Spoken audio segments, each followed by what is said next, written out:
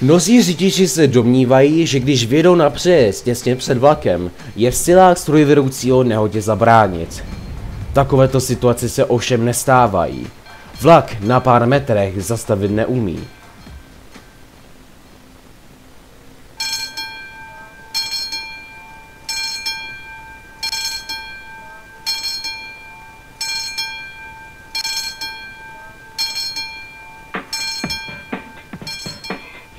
Zákon o provozu na pozemních komunikacích jednoznačně stanovuje povinnosti řidičů i chodců při přejíždění kolejí. Pokud by řidiči dodržovali všechna jeho ustanovení, k nehodám by nedocházelo. Nemusíte ale z paměti celý zákon, abyste přes přejezd bezpečně přejeli. Stačí, když si budete pamatovat několik základních faktů.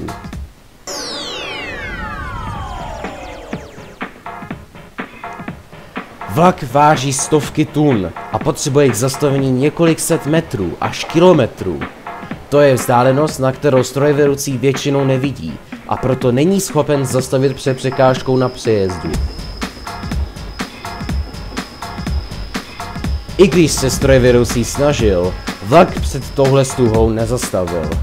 Proto mají drážní vozidla vždy přednost před vozidly silničními.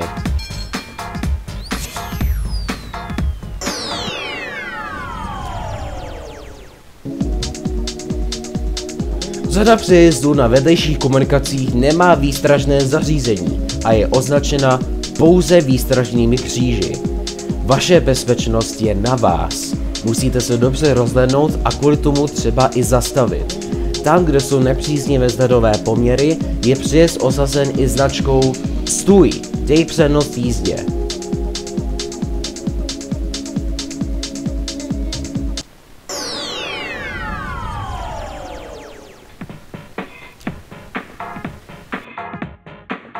Většina přejezdů je ovládána automaticky jízdou vlaků.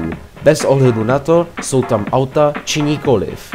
Zákon o provozu na pozemních komunikacích zakazuje na přejezdu a v jeho blízkosti zastavení či otáčení, které by znemožňovalo bezproblémový přejezd kolejí jiným automobilům.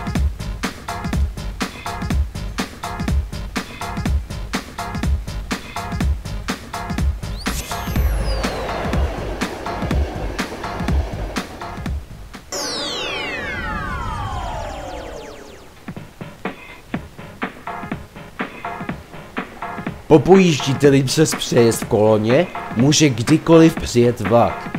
Proto zákon na pozemních komunikacích zakazuje vjezd na přejezd, pokud není dost místa na to, abyste přejezd opustili.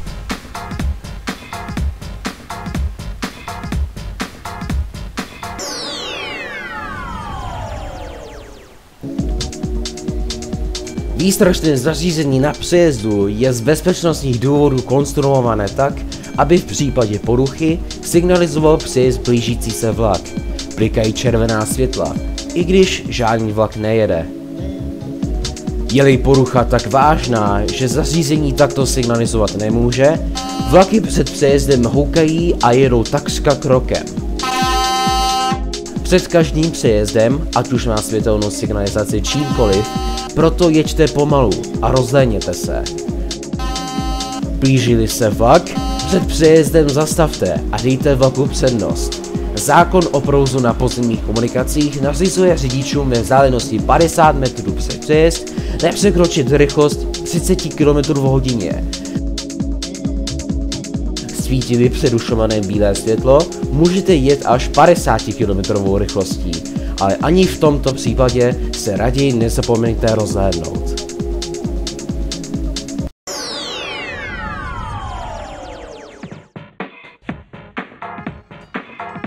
Začnou-li blikat výstražná světla, nevýjíždějte na přejezd, i když vidíte, že řidič před vámi stihnul koleje bez problémů přejet. Vám se to totiž podařit nemusí. Pamatujte si, že lepší je ztratit minutu v životě, než život v minutě.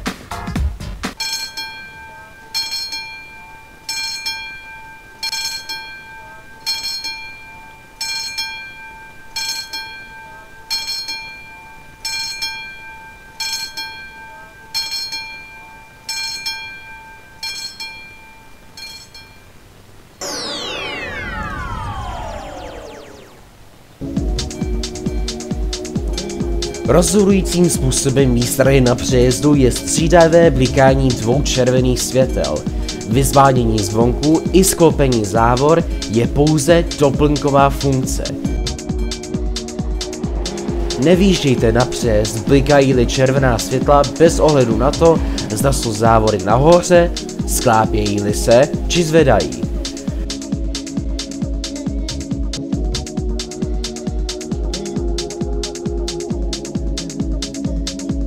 Blížili se další vlak, mohou závory během zvedání v mžiku spadnout zpět dolů.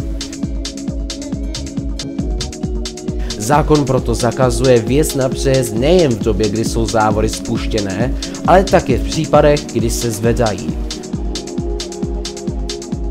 U přejezdu vždy vyčkejte, až přistanou blekat červená světla.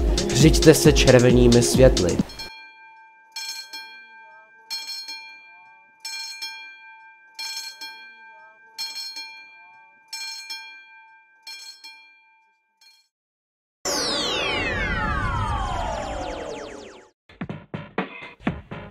Okolí přejezdu se chovejte ohleduplně. Neparkujte, neotáčíte se, nepředjíždějte a stlumte světla, abyste umožnili rozhled protijedoucím řidičům. Myslete na to, že vaše vozidlo může překážet ostatním řidičům ve výhledu na trať. Neriskujte zbytečně a na přejezdu nikdy nepřijíždějte stojící automobily. Byť jako cyklista máte pocit, že to zvládnete. Nemusí se vám to vždy podařit.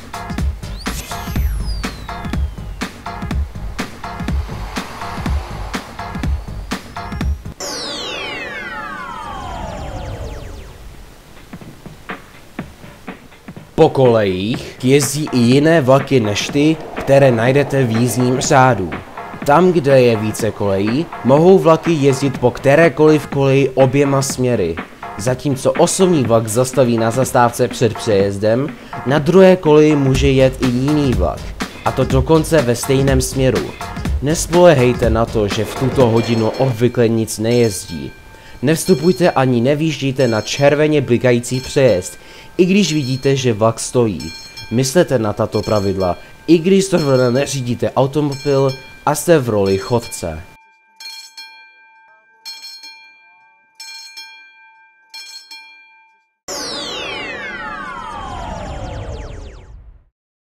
Před přejezdem si musí řidič počínat zvlášť opatrně, zejména se přesvědčit, zda může železniční přejezd bezpečně přejet. Vozidla se před železničním přejezdem řadí za sebou v pořadí, ve kterém přijela. Nepředjíždějte v okolí přejezdu. Ve vzdálenosti 50 metrů před železničním přejezdem a při jeho přejíždění smí řidič jet rychlostí nejvýše 30 km za hodinu. Svítily předušované bílé světlo signálu přejezdového zabezpečovacího zařízení, smí 50 metrů před přejezdem a při jeho přejíždění jet rychlostí nejvýše 50 km za hodinu. Při přejíždění železničního přejezdu nesmí řidič zbytečně prodlužovat dobu jeho přejíždění. Dojde k zastavení vozidla na železničním přejezdu, musí jeho řidič odstranit vozidlo mimo železniční trať a nemůže-li tak učinit, musí neprodleně učinit vše, aby řidiči kolejových vozidel byli před nebezpečím včas varování. Před železničním přejezdem, u kterého je umístěna značka Stůj, dej přednost jízdě, musí řidič zastavit vozidlo na takovém místě, odkud má náležitý rozhled na trať. Řidič nesmí výjíždět na železniční přejezd, je-li dávána výstraha dvěma červenými střídavě přerušovanými světly signálu přejezdového zabezpečovacího zařízení. Je-li dávána výstraha přerušovaným zvukem houkačky nebo zvonku přejezdového zabezpečovacího zařízení. Sklápějí-li se, jsou-li sklopeny nebo zdvihají-li se závory. Je-li již vidět nebo slyšet přijíždějící vlak nebo jiné drážní vozidlo, nebo je-li slyšet jeho houkání nebo pískání. Toto neplatí, svítili přerušované bílé světlo signálu přejezdového zabezpečovacího zařízení. Dávali znamení k zastavení vozidla zaměstnanec dráhy kroužením červeným nebo žlutým praporkem a za snížené viditelnosti kroužením červeným světlem. Nedovoluje-li situaci za železničním přejezdem jeho bezpečné přejítí a pokračování v jízdě. Na přejezd ale můžete výjíždět, pokud dostanete pokyn od zaměstnance provozovatele dráhy. Ten se vám na požádání musí prokázat platným pověřením od provozovatele dráhy. Řidič nesmí předjíždět na železničním přejezdu a v těsné blízkosti před ním. Řidič nesmí otáčet a couvat na železničním přejezdu a v jeho těsné blízkosti. Řidič nesmí zastavit a stát na železničním přejezdu, v podjezdu a v tunelu a ve vzdálenosti kratší než 15 metrů před nimi a za nimi. Řidič nesmí užívat dálková světla, je-li vozovka dostatečně a souvisle osvětlena, nebo mohl by být oslněn řidič protijedoucího vozidla, řidič vozidla jedoucí před ním, nebo jiný účastník provozu na pozemních komunikacích, strojvedoucí vlaku, řidič jiného drážního vozidla nebo řidič plavidla. Při zastavení vozidla před železničním přejezdem nesmí řidič užít ani potkávací světla, pokud by jimi mohl oslnit řidiče vozidla v protisměru. Rada závěrem. Nebudete-li respektovat zmíněná pravidla a zavřou vás závory na přejezdu, šlápněte na plyn a závoru přeraste. Závora je tenká a je na to konstruovaná. Nemůžete-li ujet, utečte z auta a pokuste se vlak zastavit mávaním telefonátem na tísňovou linku či na nádraží. Nestihnete-li vlak zastavit, zcela jistě budete mít úplně zničené auto, budete zodpovědní za škodu na vlaku a drážním vybavení a v případě újmy na zdraví někoho ve vlaku také za obecné ohrožení, které jste způsobili. Ale přežijete.